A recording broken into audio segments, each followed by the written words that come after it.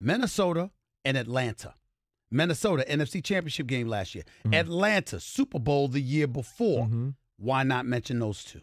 I What's think missing? Minnesota is still to me the exact same team they were last year. Even with Kirk Cousins even with instead Kirk of Cousins, Case Keenum? even with Kirk Cousins, you look at Case Keenum's level of play last year. The reason you get rid of Case Keenum is because his larger body of work says he won't be the same guy he was I last agree with that. That's why they got rid of him. Kirk, you know that steady baseline is play about around where Case was last year Mm-hmm. when you have Thielen and Diggs on the outside. And so I believe you get the same type of offensive production from Kirk as you did Case Keenum. Just you feel like you can get it for a more consistent and long and longevity basis.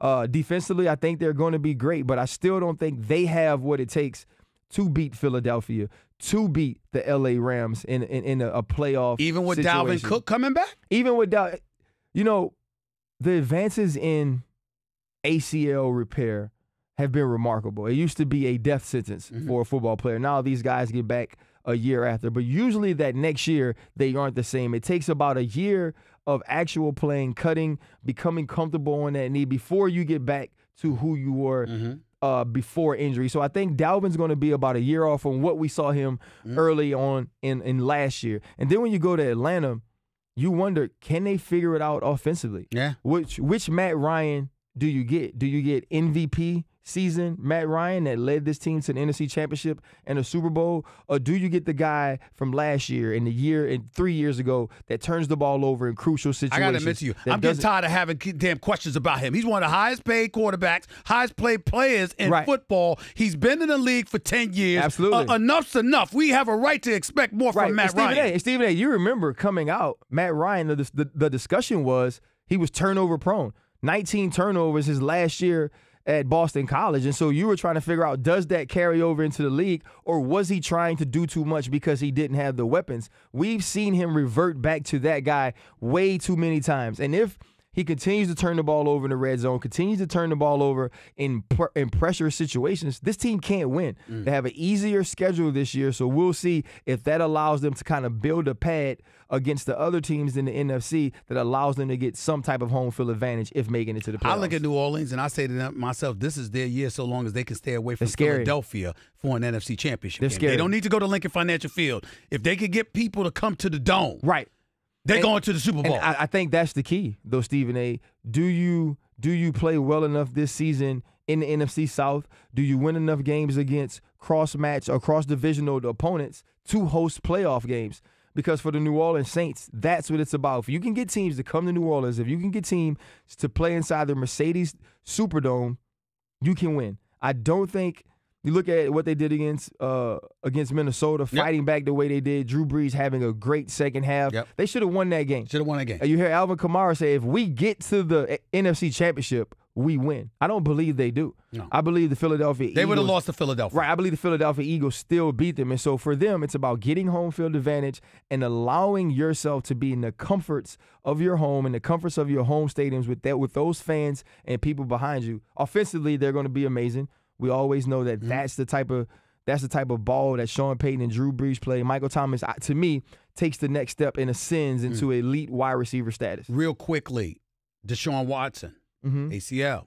Mhm. You talked about Dalvin Cook. I know it's a running back as opposed to a quarterback, but you still have that adjustment to make. How big of an adjustment? You talked about how big of an adjustment Yeah. it'll be for Cook. What about for Deshaun? I, I think it's a little bit less for Deshaun for two reasons. You mentioned one, he's a quarterback. Uh, he rushed for about 40 yards a game last year. So obviously his legs are a huge part of what he does. This is the second time he's gone through it. Mm. Right? So underneath, so he's a Familiar. guy. Yeah, he's a guy who understands the limitations and, Right. and what it's like to come back from it. And when we watched him play last year, it was his arm. It was his ability to get the ball down the field to guys like Fuller and DeAndre Hopkins and put them in situations to have one-on-one matchups and win 50-50 balls Mm-hmm. and he's still going to do that and i think his legs will get under him as the year goes along uh, you know this is fantasy football marathon That's and right.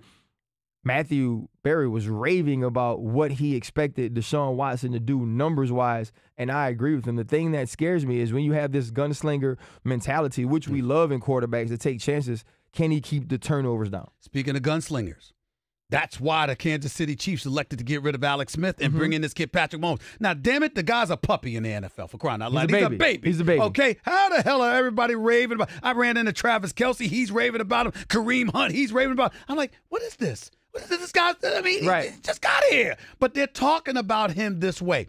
How big of a threat do you think Kansas City is going to be with this guy? Real quickly. He scares me.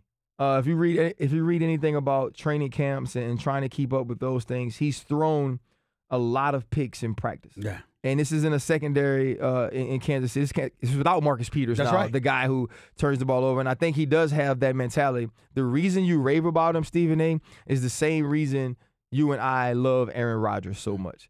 When the ball comes out of this guy's hands, It looks pretty. it's different, right? I hear you talk all the time about Steph Curry being the best shooter I've ever seen. that you've ever seen. right. When it comes out of Steph's hands, it's different. Right. It's the same thing with Patrick Mahomes. When- Really? When, when he when he's on the run, when he's go, come, going away from pressure, even to his left, he can square his shoulders and get the ball down the field like no one else can. And when and when you can do those things, you get excited. When you can do those things, you get rid of guys like Alex Smith because you want to see what he can do to push the ball down the field and accelerate offense for your team. So, with that being said, who's the biggest threat to the New England Patriots for supremacy within the AFC? We've got Kansas City. We've got Pittsburgh. Okay, yeah, I'm making. I'm just making sure. I, I, well, you know, I'm a Steelers fan. Yeah, I- even though you did, you. I'm more loyal than you. You left. That you is left. not- you won a Super Bowl and left. Hey, no, you left. you know what that I means? Never left. Hey, you know what that means? We are both super loyal. Teams ain't loyal. That's right. so, so which one you got? Pittsburgh Steelers. Okay. I- I'm still with the Pittsburgh Steelers. If um, if the Ben Roethlisberger I expect to show up shows up, this team will be nearly unstoppable offensively.